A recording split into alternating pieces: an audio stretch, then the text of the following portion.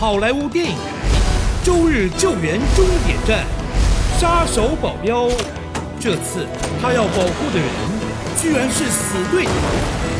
罗宾汉崛起，死里逃生的他，将带领人民反抗暴政。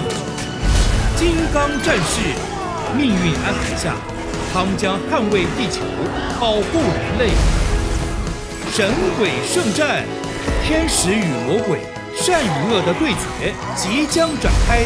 十一月每周日晚间九点四十分起，好莱坞电影周日救援终点站。